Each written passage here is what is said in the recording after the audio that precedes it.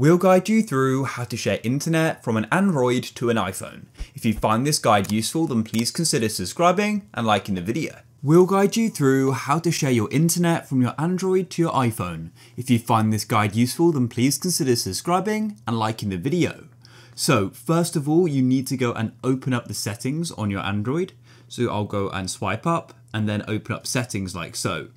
And then what you need to do is go into connections just here and then down to mobile hotspot and tethering. So what you want to do is choose if you want to go and share the Wi-Fi network you're currently connected to if you are, or if you just go if you just want to go and share your cellular data connection.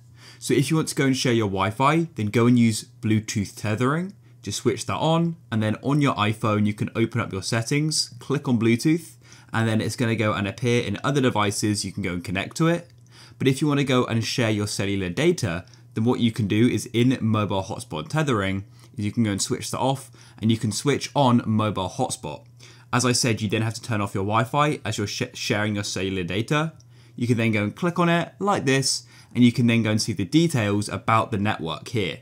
So this is going to be the name, the password, and then all you want to do is on the iPhone is go and click on Wi-Fi. I have to go and switch it on, and it'll go and find my phone here, and I've actually connected to it before so it won't ask me for the password but if it did I'd just go and enter the password there. I've now connected to it and I can use the internet from my Android or my iPhone. If you found this guide useful then please consider subscribing and liking the video.